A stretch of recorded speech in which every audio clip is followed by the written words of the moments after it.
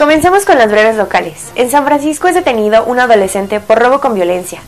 En Tecamac fue detenido un sujeto por posible agresor. Muere hombre al ser atropellado sobre la México Pachuca. Buenas tardes, les saludo Street Codos a nombre del equipo de Tecamac TV y comenzamos con las noticias más relevantes. En la tarde del sábado, un joven fue detenido por robar un establecimiento en San Francisco. Los hechos ocurrieron cuando la central recibió un reporte y alertó a la unidad del cuadrante, la cual acudió para auxiliar a los vecinos que hicieron el reporte, quienes ya habían controlado al responsable.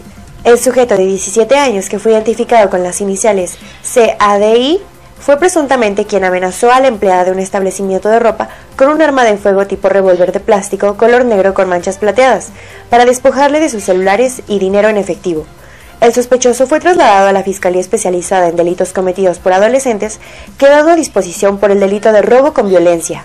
A través de un botón de pánico que fue activado por vecinos, el Centro de Control, Comando, Comunicación y Cómputo y Calidad recibió una alerta por agresiones en contra de una persona. Las unidades inmediatamente se trasladaron a un domicilio ubicado sobre la tercera cerrada de Tulipanes, en el conjunto habitacional Los Héroes Tecamac, sección Flores. Al llegar al lugar de los hechos, policías estatales entrevistaron con la afectada de identidad reservada, quien mencionó que momentos antes su pareja sentimental la había agredido física y verbalmente.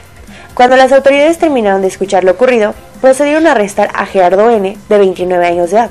Luego de informarle los motivos de su detención, el sujeto fue trasladado al Ministerio Público para poder resolver su situación jurídica.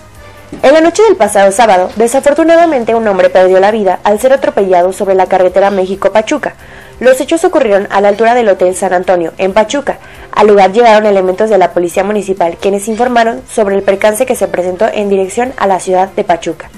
También llegaron elementos de la Secretaría de Seguridad Pública Municipal para ayudar a la circulación vial. Aún se desconoce la identidad del occiso y del vehículo involucrado. Hasta aquí la información más relevante del día. Nos vemos en la próxima emisión.